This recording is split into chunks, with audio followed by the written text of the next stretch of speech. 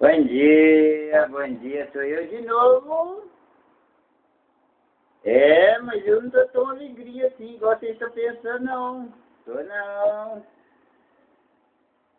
Compadre Carlito, é Carlito mesmo.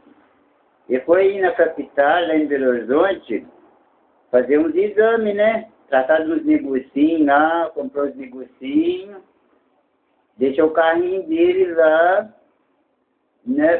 Que pessoal aqui na rua lá que, que guarda carro? É, é guardador, isso mesmo, guardador de carro. Mas o moço guardou o carro dele tão bem, tão bem guardadinho, que não achou depois. O carro está guardado até hoje. E ele não sabe onde está guardado.